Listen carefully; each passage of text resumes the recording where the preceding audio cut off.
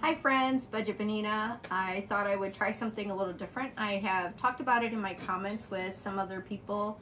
Um, my friend Belinda um, talked about doing food, making meals on a budget. So tonight we are going to make some soup.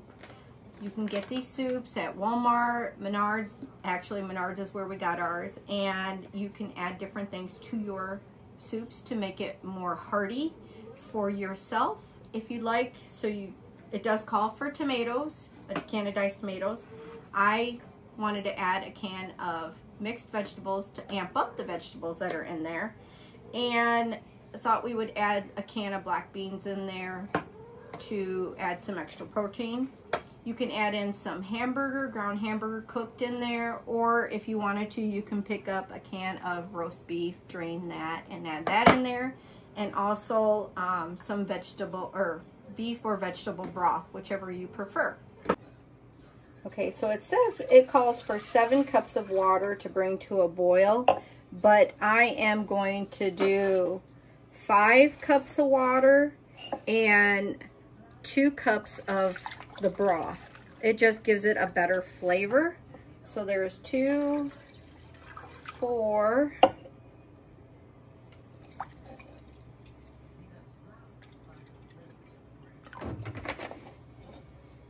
five, and seven.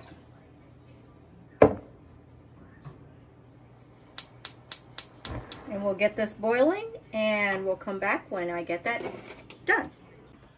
Okay, now that it's got the rolling boiling going, we're going to add in our spice packet. And like I said, it does have, you know, some of the veggies in there, but not quite as many as you would like. Or maybe that is enough for you. I don't know. But for us in our household, we do like our veggies. So we're going to get this mixed in. And I've already drained the beans. I'm going to add them in. Now you can add lentils too, or white, white rice, or wild rice. Um, anything like that you'd like. But you're going to want to cook them a little, a little before you put them in because this is pretty much all ready made and the rice sometimes take a little bit longer to make and you don't want it to um, be hard and crunchy. So I would pre-cook your rice or your lentils.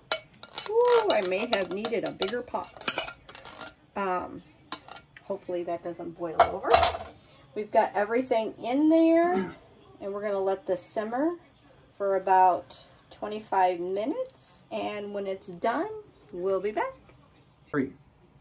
Hi friends, our soup is done. It's been 25 minutes and it looks very hearty and it smells delicious.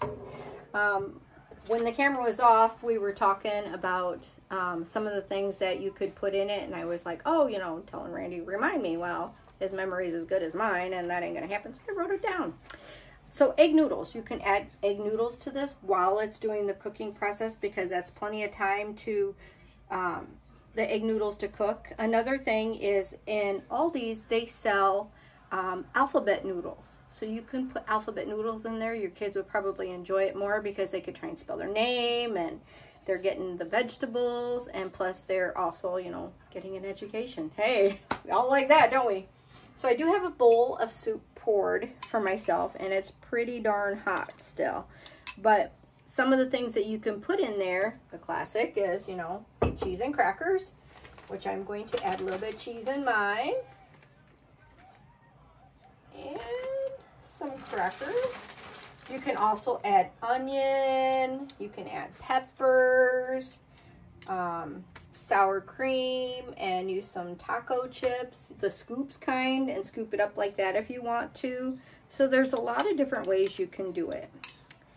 And we're going to give this a quick little stir, and hopefully I don't burn my mouth. And we'll give it a little try, and I'll let you know how it is. Not too big of a bite.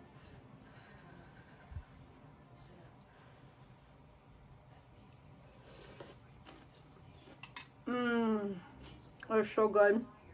And it's nice and warm. Good thing to have on a hot, and a a good hot thing to have on a cold day.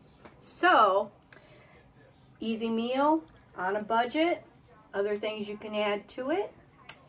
That is what we have for today. Thank you again for watching.